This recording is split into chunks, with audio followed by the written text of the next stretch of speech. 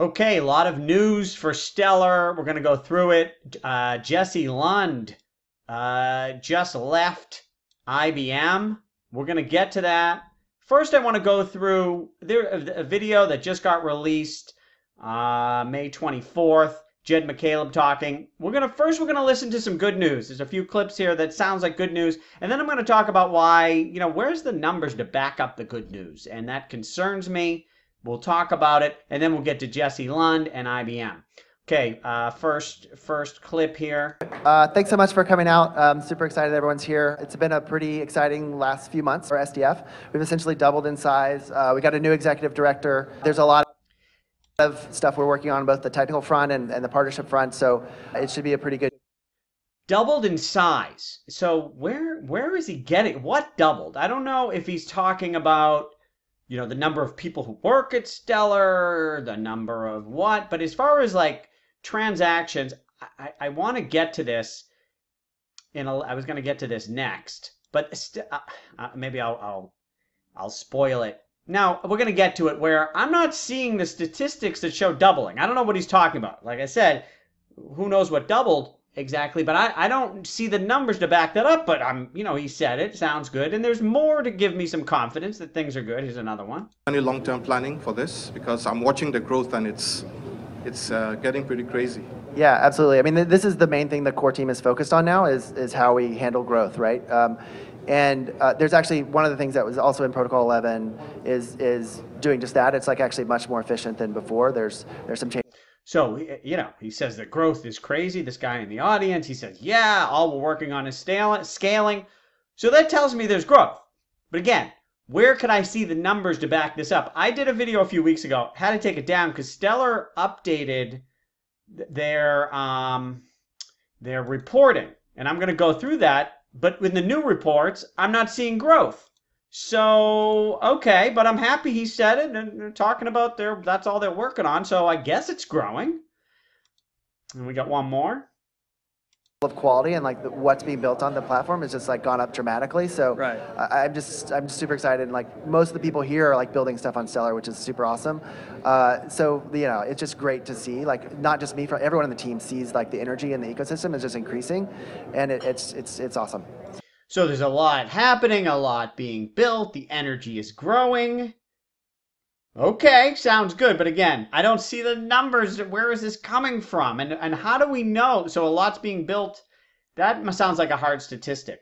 But, um, so we'll get to that again. So these, I'm just reading off. These are the good things that came out of this, this video. And I got one more good news. Uh, Protocol 11 has a lot of uh, you know bug fixes and like like minor things. The major the major things that it does is it changes the way fees are handled. Okay, so he goes into details. You know, they just upgraded the software. Now, there was an issue a while ago uh, where Stellar went down for a number of hours. Now, again, possibly, you know, a way I one of the things I thought about at first with this, and it's going to sound ironic to you, is this is good news, right? Growing pains. I like to see growing pains and it, it sort of smelt like that. This is so. First of all, the people say Stellar is not decentralized. It is decentralized. I don't think I want to get into the weeds on that. I'm not worried about it being non-decentralized, and it's not. They're not done. It's early in the business. I'm not saying there's no way to attack Stellar, but I, it, I'm not worried about the decentralization of Stellar. The uh, outage they had was not a result of you know it was not a problem with the consensus algorithm sort of worked as as it's supposed to work but they realized they need to make some changes so that this problem doesn't happen again. They made a lot of changes for that. I don't know if that was just a coincidence that they have all these other upgrades that just happened. So again this is good news. There's activities there's upgrades they're improving the performance. That's all great. Now let's get to why I'm not that excited because I'm not seeing the numbers to back it up. I don't like believing words from anybody, and I, I don't have any reason to not trust uh, Jed or these people in the audience, but still, I want to see numbers.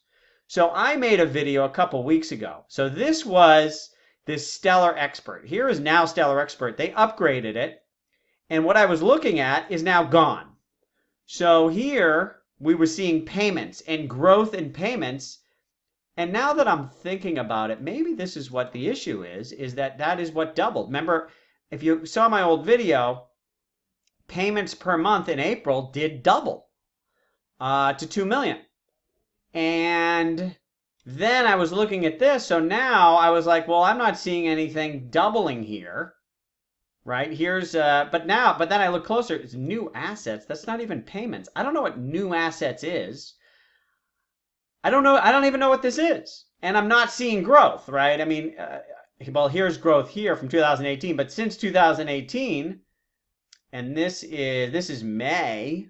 I don't know. May's smaller than. Oh, this is per quarter. Okay, so that doesn't. Uh, uh, here's here's month to month. What is this? This is May. Is this May? 513. I guess they do it by half months. You know, bottom line, I don't even know what this is. I'll be honest with you. Okay? Um, and then there's another, this one here. You know, this only shows uh, transactions operation the last 30 days. Okay. I mean, but I'm just seeing great growth here. It's only 30 days, so maybe the month before was half of this. I, I, I don't know. But again, this is not that exciting. But I can't see further. So I guess, you know, the reality is these people are talking about it's great. Um, but how how can I how can we see this with numbers? I'm not seeing that anywhere. Um, what else do we have on? I've got some more. Okay, here's here's a okay. So now here's some of the negative news word wise. So let's listen to this one first. Wire is obviously pretty exciting. We've we've had lots of people approach us and and mainly IBM about wanting to get on the WorldWire platform. Uh, you know, we're super excited to have that become live, uh, and we're working with them to, to to make that a reality. So, well, I don't understand what he's talking about. We're working with IBM to make it live. I mean, I thought WorldWire was tested for two years and then they simply opened it up to everybody uh, about a month ago. Um, you know, let's see, IBM WorldWire. What do you mean make it live? I thought this thing is very live. IBM WorldWire, they launched. Um, 72 countries, 47 countries. Uh, isn't it? WorldWire is here. So what is he talking about? You know, I don't know. Maybe he's talking about some feature within it or making it easier. So I don't know. I, I didn't like hearing that. And also, just, and I'm, maybe I'm over reading into it, but watch his facial expression when he mentions IBM. Get on the WorldWire platform. Uh, you know, we're super excited to have that become live, uh, and we're working with them to, to, to make that a reality. Yeah, we're working with them. it was just like working with IBM and like, you know, it's IBM. Now, I love that IBM is a partner here, but at the same time, IBM, it's not like every, IBM's never failed before, so a little concerned. And then here's another uh, concern on IBM. Using crypto exchanges, but but it uh, it is using the public network, so it, it isn't like a separate network or anything like that. So it's using the public Stellar network, and uh, it, it's you know they're still parts of it are still being developed. I'm pushing them to use the actual Stellar DEX as the, for the way that they're doing the currency conversion. Right now, they're doing it internally, uh, but it's still the value is moving across the public. So this sounds like he's saying so. The whole point of the Stellar network is using this public network to quickly exchange the the assets, and it sounds like he's saying IBM isn't actually using it they're doing it internally to do the trades, which I don't know. That that is concerning. You know, this is this a typical big company slash IBM thing? It's like, oh, we want to do it, but oh, we want to do it ourselves, and we have our old system, and we don't want to get off the old system. You know, I don't know. I don't like hearing that. I don't, and I'm not sure what that means, right? Why is IBM using Stellar for international payments, but they're not using Stellar for the for the actual transfer of payments. They're doing it internally. Using what? And I don't know. That again, so that's somewhat of a concern, at least with the IBM thing. If transactions and payments have doubled, great. But it, it maybe IBM, uh, you know, is not is not where the growth is coming from Which leads us to, uh, wait, did I have another? Yeah, we did that. Okay. Which leads us to Jesse Lund leaving. Now, I saw something on Twitter. It was like, Jesse Lund's leaving, sell Stellar. Like, really? I'm not sure Jesse Lund leaving is a bad thing. I've had concerns about Jesse Lund, um, you know, for a while. I don't like that, um, you know, so Jesse Lund, first of all, what does he do? I, I don't know. I've never been able to understand what he's doing. And when he he he's not very communicative. I've had a lot of these questions of what is going on for a long time. I don't get any answers, and I you know I tweet Jesse Lund. He's not replying to me. I don't know. I might not be on the top of his list or something. I get it, but um, we don't hear much. And the things he has said, he's, you know, I remember, I think it was two years ago, he said a central bank is going to be, uh, list their own digital currency soon. He said that two years ago. And then he reiterated it year, another year ago. And it's not happening soon. I, I don't know where he comes with that. And hey, if it comes out tomorrow, I, I, I'm wrong. But I, and, and then, what else? The other thing he talks about, well, with this World Wire again, we have no, st- I don't see statistics on it. And from what I'm hearing here, maybe IBM's dragging their feet. So maybe Jesse Lund wasn't good, so they got rid of him and then this is a good thing now they put someone in charge who can who can get things moving better or communicate better whatever it is or maybe jesse lund is great and he's had problems with ibm and he left and then that's bad news i don't know but i my default uh, guess is not that jesse lund was some sort of rock star i, I didn't see it granted what, what do i see what do i know i'm here in my house reading you know i don't know um, but I don't think it's a no-brainer this is some sort of bad news. Might be good. We don't know. I've searched on the internet. Nobody has any idea why he left or what he's doing. Um, he on LinkedIn he doesn't have a new job listed, so it's not like he just jumped. Uh, they might have let him go, and maybe that's a good thing. And just to harp a little bit more on this lack of communication, IBM blocked, well, you know, a while ago, Jesse Lund did a um, AMA where he didn't answer any questions, so didn't answer mine or anything of significance. Reiterated some of his buzzwords. It was very lame. Uh, I contacted IBM Blockchain. I'm like, hey, can I get an interview with Jesse Lund or, or something or somebody? And they said, yeah, great. They were all excited. I sent my questions, get sound. Uh, you know, I'll get back. I'll get back to you. We want to. We want to find ways to collaborate. Uh, taking longer. He says, and then uh, I apologize for wasting your time, but uh, uh, we have put a hold on all IBM blockchain social media interviews. I mean, first of all, I'm not even looking for an interview. Just can you answer some questions as to what's going on? So they have a social media, but they're not allowed to be social. IBM. Now, I'm not jumping ship here uh, on on Stellar.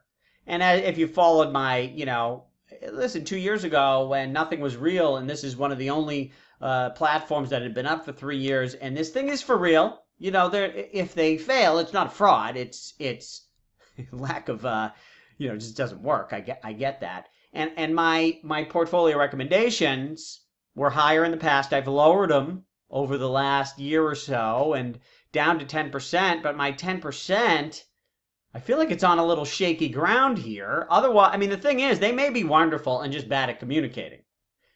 In which case, and, and to be frank, right from the beginning, when I liked them and they weren't even with IBM yet, there was sort of zero info about Stellar. And then all of a sudden, there's all this going on with IBM. So, you know, no news is not necessarily bad news, but it's hard to invest with conviction when you don't know what's going on.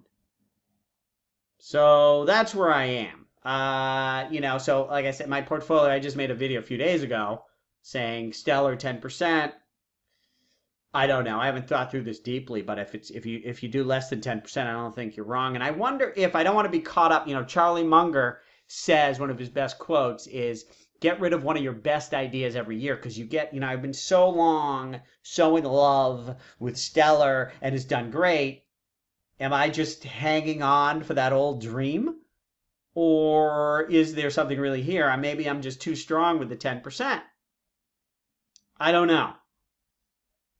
Now, one last thing they mentioned that was interesting. He mentioned in the video, Jed McCaleb, they, they, they're, whole, they're having inflation. They have this 1% inflation. The idea was to print new money, and then people in a decentralized way would point their inflation to valuable projects so those projects could be funded. Nobody's doing that. I don't even know. I didn't even know that was the intention. I mean, I think I remember reading that, and I just, what everybody did, which I did, which I even made a video suggesting take the inflation and point it to yourself. And it's like, what the point? What's the point? I thought they were using some of the money for something internally. Turns out it was just to fund other projects. Nobody's doing that. So I think he, they're sort of hoping to eventually get rid of inflation. But someone has to write the code to end the inflation, and then they upload it. So inflation's still here. Uh, but I thought that was interesting that it may go away. It's only 1% a year, too. It's sort of a silly little thing. I mean, it's nice to get 1%. It's better than nothing, but um, may not last. That was the other interesting thing from this video. Uh, recommend you watch it. And I think, oh, yes. No, did I talk? I did talk about this. Yeah, that's everything. All right. Thank you. Let me know your thoughts.